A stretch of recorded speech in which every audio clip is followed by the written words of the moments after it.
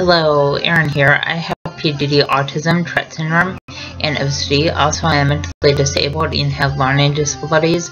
I'm first grade level at reading, second grade level at math, and I'm mentally first grader age. Also, because of medications I take for my mental disabilities, I have a rapid heartbeat, but I take medications for my rapid heartbeat. Also, I have fears of the crowds, loud sounds, and yes, when people ask me over to their house, I don't know how to respond in that sort of situation. Also, it's hard for me to interact with others.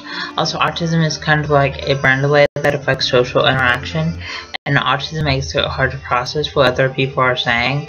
Also, autism makes it hard to process other people hugging and kissing, and autism makes it hard to process other people holding hands. Also, just want to let know that autism makes for people are anxious when large crowds and loud sounds, and autism extrovert people are anxious wearing backpacks.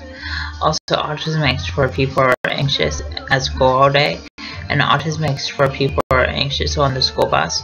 Also, autism extrovert people have a hard time tying shoes and buttoning shirt collars, and the signs of autism are lack of social skills, lack of eye contact, lack of speech, and lack of communication. Please subscribe.